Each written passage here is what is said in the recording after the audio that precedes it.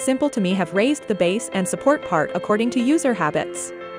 After the upgrade, you can easily pick up or put down the Dyson hairdryer with one hand. It's very easy and convenient to use, I love it. Highly recommended. Choose a simple life to me. Simple to me.